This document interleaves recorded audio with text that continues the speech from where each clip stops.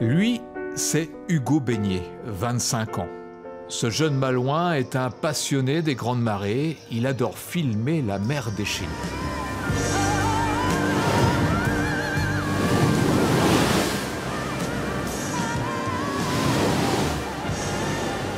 Les grandes marées de Saint-Malo, c'est euh, unique.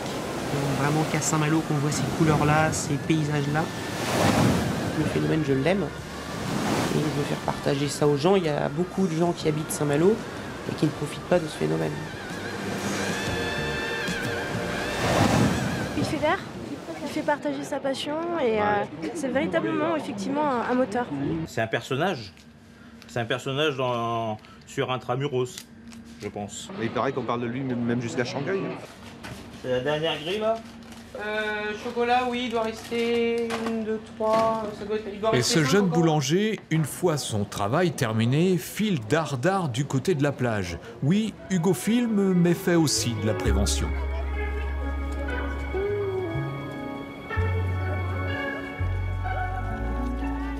On doit être à un quart d'heure maintenant de la, de la submersion. C'est à 15h58 on y est pile.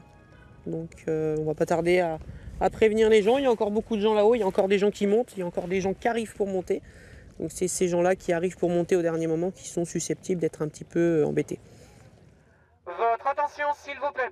En raison de la marée montante, merci de regagner la plage. Le passage sera recouvert dans 5 minutes. Merci. Bonjour. Ça va être trop tard pour s'engager là. La mer est en train de monter là. Ah d'accord. Bonne journée.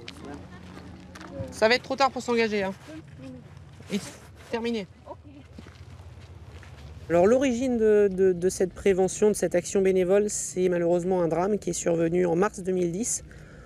Moi je venais à Saint-Malo en tant que, touriste, que passionné de la mer, et j'ai assisté donc euh, sur le passage du Grand B qui est face à Intramuros à la noyade d'un père de famille de 35 ans sous les yeux de ses enfants et de sa femme.